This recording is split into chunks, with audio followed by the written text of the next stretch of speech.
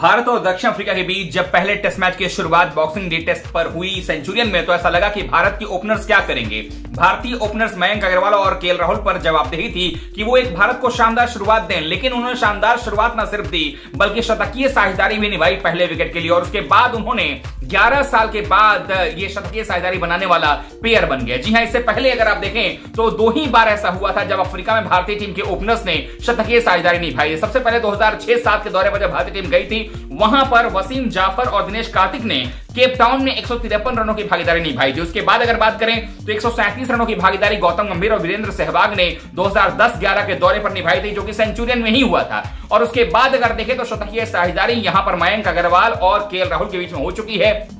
हालाँकि जो भागीदारी है, वो अभी भी जारी है, यानी कंटिन्यू है। लेकिन ये तीसरे ऐसी जोड़ी बन गए हैं, जिन्होंने ये शतकीय साझेदारी अफ्रीका में जाकर के की है और एक बड़ा मुकाम हासिल किया है। देखना होगा कि ये शतकीय साझेदारी क्या दोहरे शतकीय साझेदारी में तब्दील होती है, या ये शतकीय साझेदारी जो है थोड़ा सा और आगे जाकर टूटता है। लेकिन एक बात तो कहना पड़ेगा कि दोनों ही बल्लेबाजों ने पहले टेस्ट मैच में शतकीय साझेदारी करके भारत को मज़बूत स्थिति मिला दिया है।